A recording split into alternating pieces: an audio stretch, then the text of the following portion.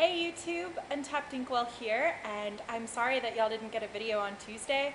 I was watching Doctor Who. I watched Doomsday, yes, on Tuesday, and uh, yeah, there were tears everywhere. It, it was, I was very emotionally distraught. For those of you who haven't seen Doctor Who, go check it out. For those of you who have, you know exactly what I'm talking about. Anyways, I'm here to show you this beautiful scene that is happening right in front of me.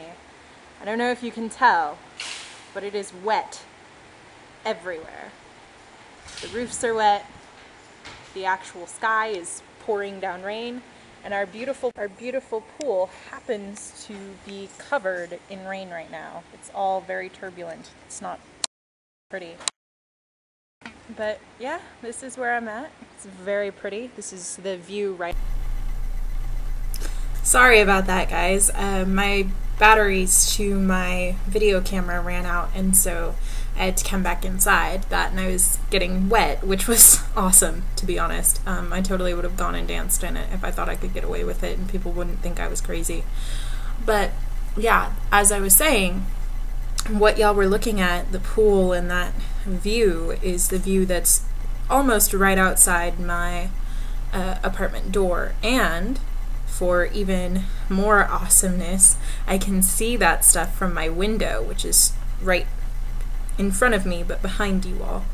And um, it's really cool. I'm really excited about it. And my roommates, when I told them that I was a writer, they had to show me the view in my room because they felt that it was very poetic and that I would be able to write very well with that as my background. And I'm going to test their theory today, so that should be awesome. Um, my first day of classes was a doozy uh, woke up late, then was introduced to brand new material on the very first day that was stuff I was supposed to know, and then I went to a class that was not what I had signed up for because the there was a departmental error, and then I there was a guy in my third class that he's one of those people and there's always one but he's one of those people who has to say something every class period and it almost never makes sense so I have one of those this year that's awesome and then I went to my honors class, and I'm scared because it's about an undergraduate thesis, which is something I'm considering doing and something I would like to do. And a lot of people seem like they're a whole lot further ahead than I am,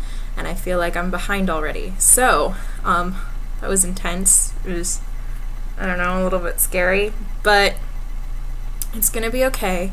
Today went much better. I only had one class, and it was real.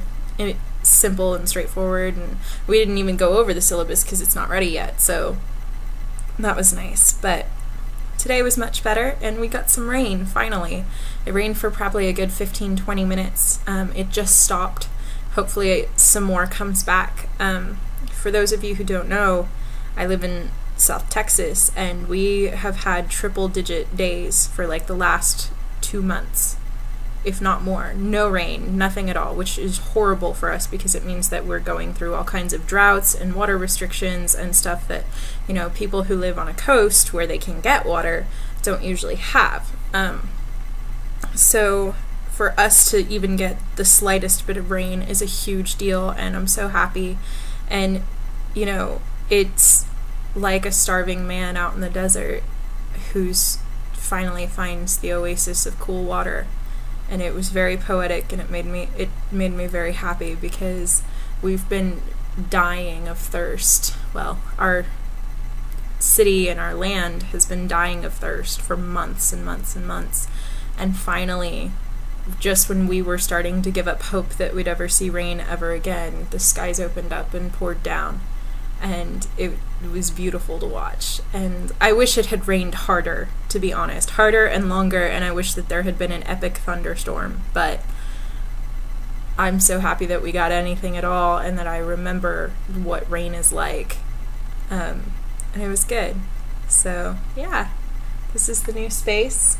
I believe I introduced it to you last video, which was last week and um, I hope you guys enjoy the view that's outside my door because it's very pretty and be happy for us because we haven't gotten rain in ages.